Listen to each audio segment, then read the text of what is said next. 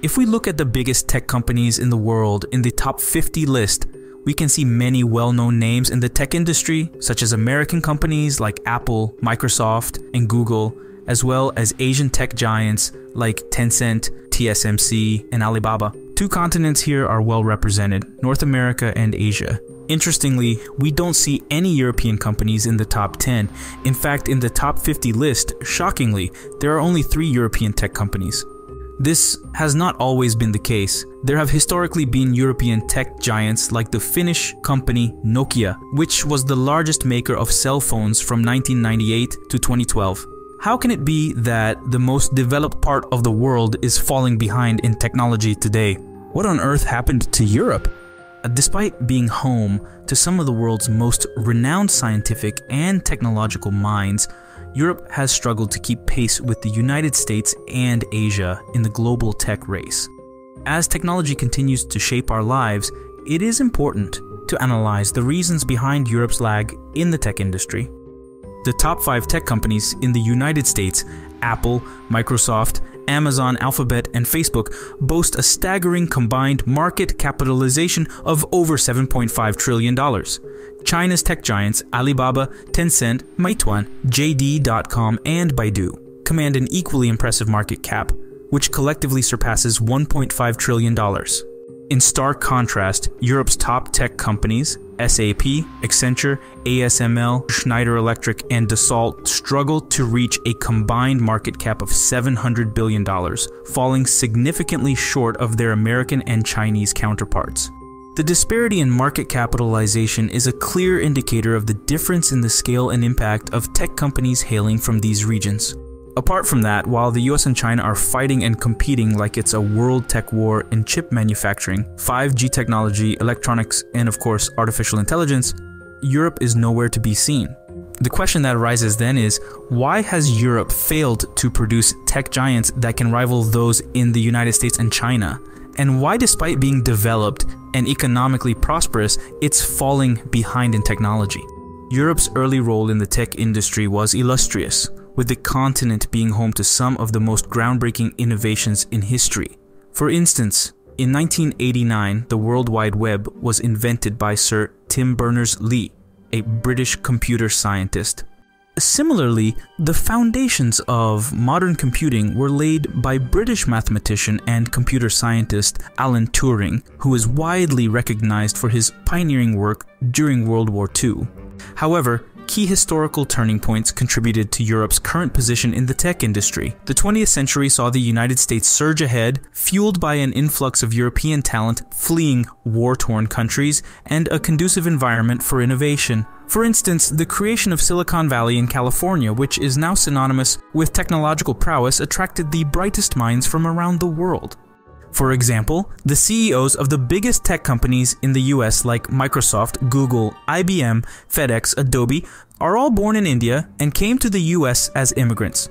Meanwhile, Asia, particularly China, focused on manufacturing and hardware development, eventually evolving into an innovation hub. The region successfully leveraged its massive population and economic growth to foster a thriving technology ecosystem for example, if you have an idea for manufacturing some tech device you've been thinking about, you can immediately start mass manufacturing the product as the climate in a city like Shenzhen in China is designed in a way that there's rent and assembly line facilities ready to manufacture any electronics.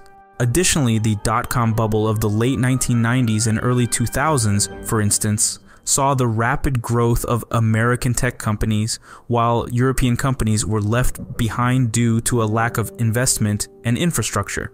In comparison, the United States and Asia have capitalized on their early technological advancements, fostering the growth of tech giants such as Google, Apple, and Alibaba. These companies have managed to expand rapidly, gaining a significant market share and reinforcing their dominance in the global tech industry. The European market, with its rich tapestry of languages, cultures, and regulatory frameworks, is both a source of strength and a barrier to growth for tech startups. On one hand, this diversity fosters innovation and unique ideas, but on the other, it hinders the development of a unified tech ecosystem. Imagine a scenario where a tech startup based in Berlin seeks to expand to Madrid, Paris, and Rome. The company would face an array of challenges, from language barriers and cultural differences to distinct legal systems and tax regulations. These hurdles slow down the expansion process and increase costs, making it difficult for European startups to scale rapidly and compete with their American and Asian counterparts. In contrast, the United States enjoys a largely homogenous market, with English as the common language and a uniform legal and regulatory landscape. This enables American startups to scale efficiently, reaching a vast consumer base of over 330 million people. Similarly, China's market, with a population exceeding 1.4 billion, offers a massive opportunity for tech companies to grow and thrive, despite regional differences in language and culture. An example that illustrates the impact of fragmentation on European tech startups is the case of Spotify, the Swedish music streaming giant. Despite being an industry leader, Spotify faced numerous challenges when expanding across Europe, including licensing negotiations with music labels and navigating varying copyright laws. This slowed down the company's European expansion, whereas in the United States, it could grow exponentially within a single unified market. I would go as far as to say, if there wasn't for the US, Spotify would die. Thanks to the US, Spotify was saved from doom. The statistics further emphasize the impact of fragmentation on European tech companies. According to the European Startup Monitor, only 8% of European startups have successfully expanded to more than three countries. In contrast, 47% of startups in the United States have reached the same level of expansion. The fragmented European market, with its diverse languages, cultures, and regulations, poses significant challenges for tech startups seeking to scale rapidly. This starkly contrasts with the unified market structures in the United States and Asia, which enable a more conducive environment for the growth and expansion of tech companies. When it comes to tech education, Europe is home to numerous world-class universities and institutions, renowned for their high-quality education in technology and computer sciences. Institutions like ETH Zurich, EPFL, and the University of Oxford have produced brilliant minds who have contributed significantly to the global tech landscape. However, despite the strong foundation in education, Europe faces a persistent challenge, the brain drain phenomenon. The brain drain refers to the emigration of highly skilled and educated individuals from their home countries to other regions, often in pursuit of better opportunities and career prospects. In Europe's case, many tech talents are drawn to the allure of Silicon Valley and other thriving tech hubs in the United States and Asia, where they find lucrative job offers, abundant funding, and the chance to work with industry leading companies. Take the example of DeepMind, a UK-based artificial intelligence company acquired by Google in 2014. Despite being founded in London and enjoying initial success, the company's most groundbreaking work, such as the development of the AI system AlphaGo, took place under Google's umbrella, and now DeepMind and Google Brain have merged into a single company, effectively making it an American company and diverting the benefits of the innovation away from Europe. The European Commission estimates that approximately 15% of highly skilled European professionals have migrated to other regions, mainly to the United States. This exodus of talent has left a gap in the European tech ecosystem, further hampering the growth and development of its tech industry. To combat the brain drain and retain skilled professionals, European countries have initiated programs and incentives to foster a more attractive environment for tech talents. Examples include the French Tech Visa, which offers a streamlined process for international tech professionals, and the establishment of tech hubs like Station F in Paris and Factory Berlin in Germany. Despite these efforts, the brain drain continues to pose a significant challenge to Europe's tech industry. The loss of top talent to other regions not only stifles the growth of European tech startups, but also limits the region's ability to cultivate the next generation of tech giants that can compete on a global scale. Funding and investment opportunities are vital for the growth and success of tech companies. A significant factor contributing to this disparity is Europe's more risk-averse culture, which is evident in the examples of Airbus and Nokia. Airbus, facing competition from Boeing, opted for a safer iteration of their existing A330 airliner instead of developing an all-new design. This risk aversion ultimately backfired, with major customers demanding a completely new design.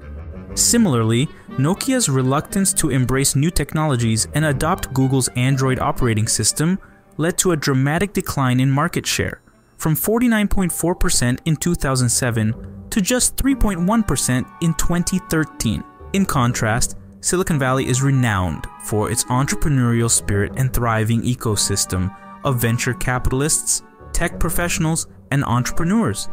Europe's more cautious attitude, coupled with its preference for safer careers such as investment banking, law, and medicine, has resulted in less established networks and fewer investment opportunities. This cultural divide, which favors communitarian attitudes over the pioneering spirit found in the US, has hindered the growth of Europe's startup culture. The impact of this risk-averse culture is reflected in the venture capital landscape. European startups receive significantly less funding compared to their US and Asian counterparts. For instance, in 2020, European tech startups attracted $41 billion in venture capital, while US startups received a staggering $156 billion. This funding gap makes it challenging for European tech companies to scale, innovate, and compete globally. The scarcity of venture capital funding in Europe often pushes companies to seek acquisitions by non-European firms, as they can provide the resources necessary for growth. A prime example is ARM Holdings, a British company whose chip designs power 95% of the world's smartphones. In 2016, Japanese corporation SoftBank acquired ARM for $32 billion, dealing a significant blow to Europe's technology sector. With the smartphone market's growth, the revenue generated now flows to Japan, leaving the UK and Europe without the benefits of this lucrative business.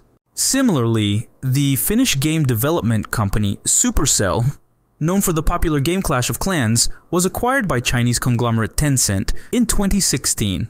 In another instance, Microsoft purchased Skype, an Estonia-born company, in May 2011, further showcasing the trend of European tech firms being absorbed by non-European entities. The Dutch travel website Booking.com, for example, was purchased by the American company Priceline, now Booking Holdings, in 2005. Gillian Tans, who led Booking.com at the time, remarked that, quote, maybe if at that time there would have been more funding available, Booking would have made different choices. These examples highlight the challenges that Europe's tech industry faces due to the brain drain phenomenon and the lack of venture capital funding. As long as competition for funding favors companies from the US or Asia who possess greater resources, Europe will continue to lose ground in the global tech landscape.